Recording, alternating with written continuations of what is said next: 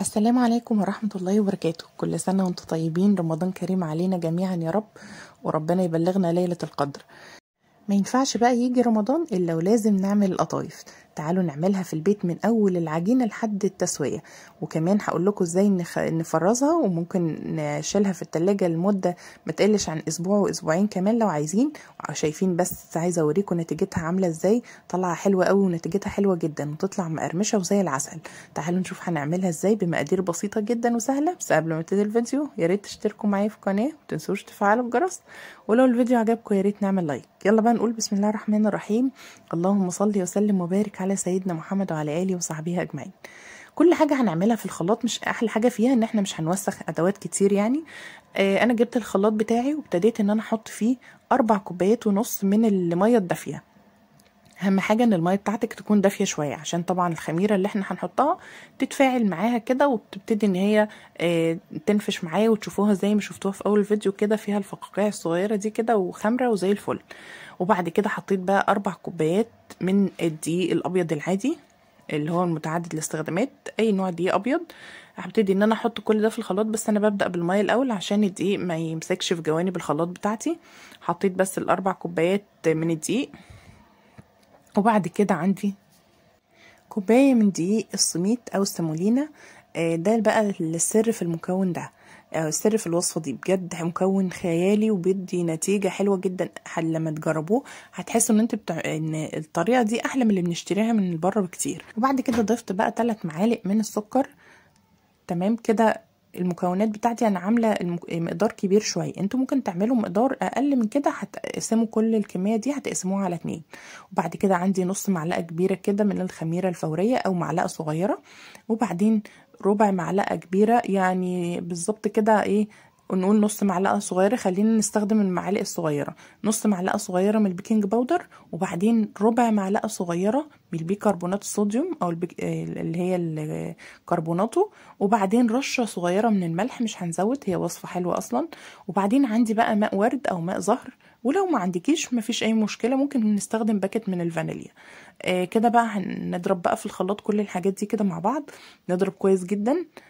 أهم حاجة بقى إن إحنا بين كل فترة والتانية هنقفل بقى الخلاط بتاعنا ونبتدي ننزل الجوانب اللي في الجناب دي عشان ما يبقاش فيها أي تكتلات خالص. ولو أنتوا حابين بعد كده ممكن تصفوه بس أنا ما يعني بيتهيألي إن الخطوة دي ملهاش أي لازمة.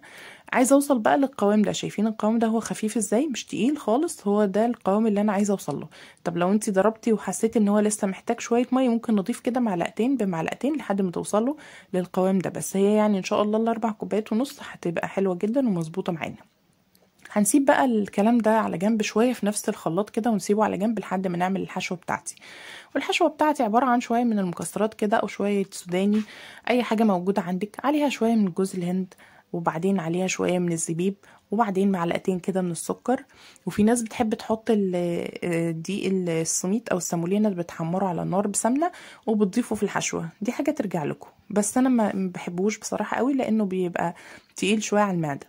بس كده بقى الحشوة بقى ركنتها على جنب وتعالوا نعمل بقى القطايف بتاعتي على النار على طاسة كده مش بتلزق أو صينية كده ما بتلزقش ونبتدي نحط بقى نصب كده بالخلاط بتاعي لحد ما ناخد بقى الحجم اللي إحنا عايزينه. يعني عايزينها صغيرة كبيرة تصبوا بقى كده بالتدريج لحد ما توصلوا للحجم اللي أنتوا عايزينه. وبعد كده نسيبها بقى على النار هي اولا نار متوسطة. والصينية ما تبقاش سخنة قوي وانتوا بت... بتفضوا كده ما تبقاش سخنة قوي. هنسيبها لحد ما نحس شايفين البياض اللي بيبقى فوق ده كده تحسوا ان هو خلاص اختفى.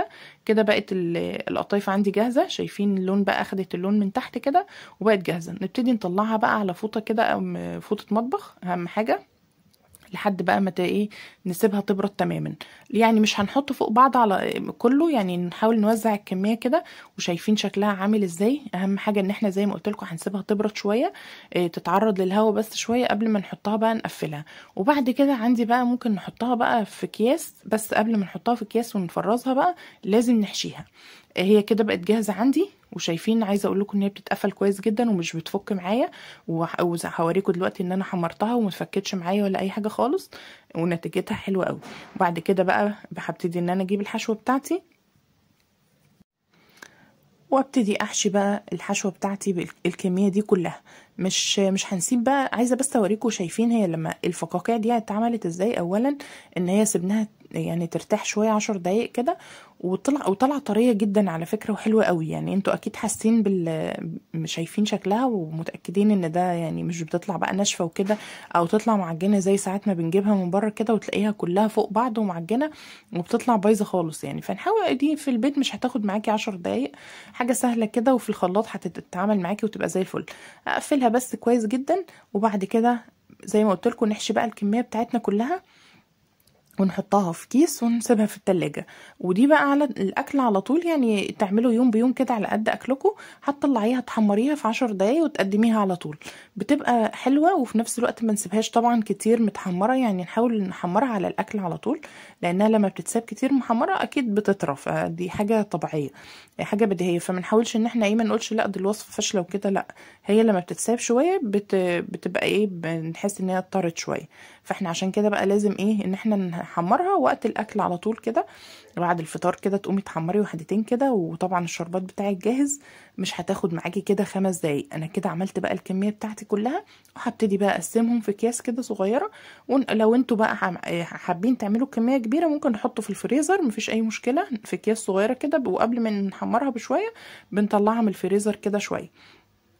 وبعد كده بقى جبت الزيت بتاعي أنا بحب أعمل في حلة كده عشان ما استخدمش زيت كتير آه وفي نفس الوقت تطلع معاكي يعني الزيت كله يبقى إيه آه مغطيها كده. فنحاول إن إحنا إيه نستخدم الحلة بيبقى أفضل من اننا نستخدم آه آه طاسة أو كده.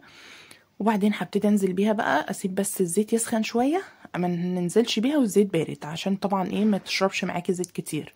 أول ما الزيت يبتدي يسخن كده هبتدي أنزلها وبعدين نخلي النار متوسطة مش نار عالية. يعني الحاجات دي كلها التفاصيل التفاصيل دي كلها بتفرق عشان تطلعوا نتيجة الحاجة حلوة. وبعدين بقى اسيبها بقى أحمرها بقى من جميع الجوانب كده وابتدي أقلب فيها شمال ويمين كده لحد ما تاخد معانا اللون الجميل اللي أنتوا شايفينه ده. آه وعايزة أقول لكم حاجة كمان إن وانتوا بتسووها أصلا في الأول آه على الصينية حاولوا إن أنتوا تطلعوها بيضة شوية يعني من تحت يعني ما تستنوش لحد ما تتحمر قوي من تحت. فاهمين قصدي؟ يعني تبقى طالعة لونها فاتح شوية آه علشان لما نيجي نحمرها في الزيت آه تطلع معاكم آه مقرمشة وحلوة نقدر نحمرها بسهولة. ما تبقوش حمرتوها في المرحلة الأولانية قوي فلما تيجي تحمريها في الزيت هتطلع معاكي طبعا مش هتلحق أصلا تستوي وهتطلع معاكي مقرمشة مش مقرمشة طبعا. فعشان كده لازم ناخد بالنا من الحاجات الصغيرة دي. وبعد كده أنا عندي بقى الشربات بتاعي عندي كوباية من السكر حطيت عليها نص كوباية من المية. الشربات بيبقى تقيل شوية وبعدين سبته يبرد تماما وعليه طبعا نص عصير ليمون. أنا كده كده بحب إن أنا قبل رمضان بعمل الشربات ده بجهزه وأسيبه شوية وأسيبه اعمل كمية وأسيبه بقى عشان لما أجي إيه أعمل كده حلويات يبقى الموضوع سهل بالنسبة لي. وبعد كده بقى زي ما قلت لكم كوباية من السكر عليها نص كوباية من المية عليها عصير ليمون ونسيبه على النار كده لمدة عشر دقايق كده لحد ما إيه يبتدي يستوي. وبعد كده بقى نسيبه يبرد قبل ما نبتدي نحط فيه القطايف أو نعمل الكنافه أو نعمل أي حاجة لازم الشربات بتاعك يبقى بارد تماما. آه وكده الوصفة بتاعتي خلصت وبقت جاهزة للتقديم. آه كل سنة وأنتم طيبين. رمضان كريم علينا جميعا يا رب. والسلام عليكم ورحمة الله وبركاته.